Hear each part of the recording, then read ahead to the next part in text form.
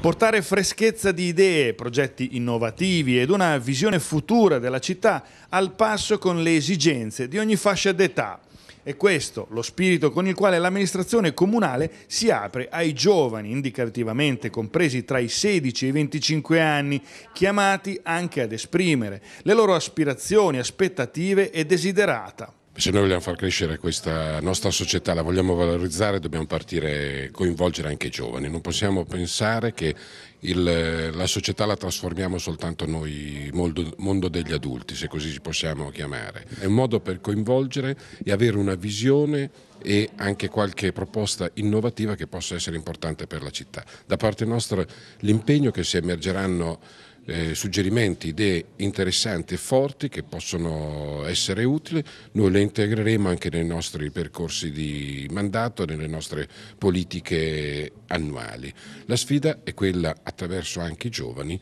di migliorare e rendere questa città sempre più interessante e forte, ma che sappia dare anche sempre risposte eh, nuove anche ai nostri giovani. 100 giovani più o meno divisi in gruppi di lavoro che dovranno cimentarsi con tematiche strategiche per il futuro delle nostre città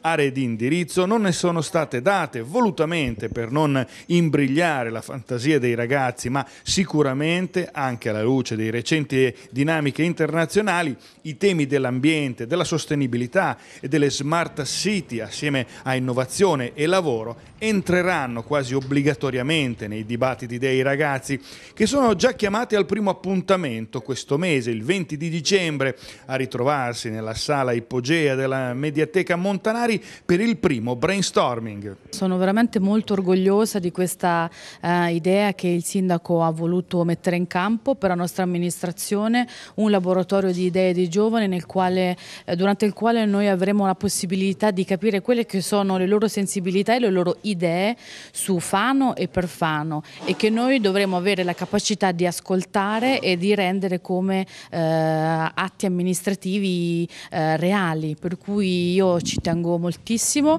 e invito tutti i giovani che hanno voglia di eh, partecipare, di esserci il 20 dicembre alla Memoria 17 per discuterne con noi.